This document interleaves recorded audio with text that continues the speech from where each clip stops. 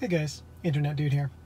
Hey, I just wanted to give you a quick video because I'm in Saskatoon and I came out for the Drive Electric Week event and uh, just got a full charge here at the PV Mart in Saskatoon. Uh, it was a great turnout, great event today. I got to meet owners and chat with the public and answer a lot of questions, so had a lot of fun. But uh, I had a chance here to set the battery to charge to 100%. Uh, and you can see that the car has 3,845 kilometers now.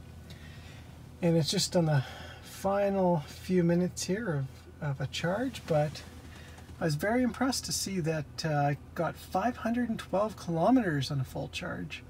Uh, if you recall back when I got the car, uh, it was at 100% and it had, it was 507 or 508, I can't quite remember, one of those two. I think it's rated uh, officially for 507. But uh, I'm definitely happy to see that the range is 512 kilometers.